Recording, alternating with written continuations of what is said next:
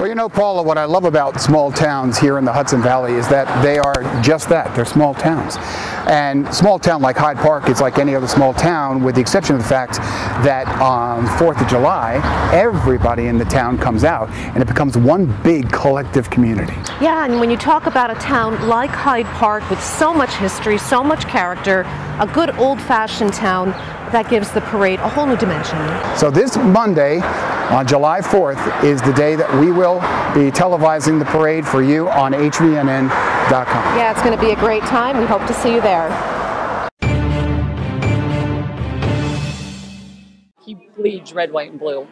His God and his country is been the most important thing to him his whole life. And the young Republican confirms his parentally described patriotism by serving in the Army National Guard and previously as Director of Operations for the New York State Senate Veterans, Homeland Security, and Military Affairs Committee. Very significant piece of legislation, the Service Connected Disabled Veterans Set Aside Bill for service connected disabled veteran owned businesses. So 6% of all state contract spending, if the state's going to buy pencils or if the state's going to invest in the stock market or the state needs a cleaning service, all that is put into one big pot uh, for description purposes here, and 6% of that is set aside exclusively for those disabled veteran-owned businesses.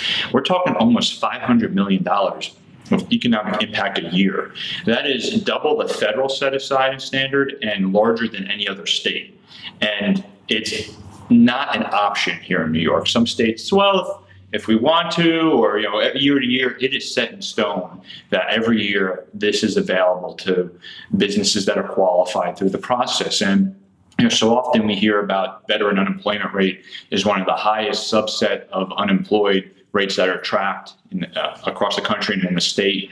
And uh, veterans, we we we need to do everything we can to get back. And this is just one example on a massive level. I mean, $500 million, that's not a, a, small chunk of change. And it's, it's a hand up. So often we hear about the negative cycle dependency that the state creates or from government, but this is a chance where we're actually doing good.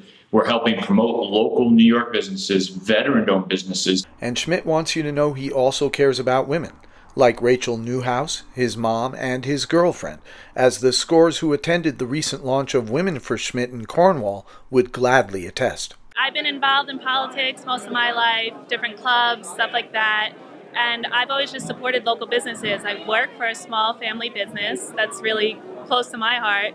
We go out to all the restaurants throughout town. I love doing that. And we go to community affairs, which I love being outside, so it's perfect. His main concern is his country, his county, his neighbors, his family, and he really will go to Albany and do what he needs to do for his constituents, for the people. That's what he believes and what he speaks, he will follow through with.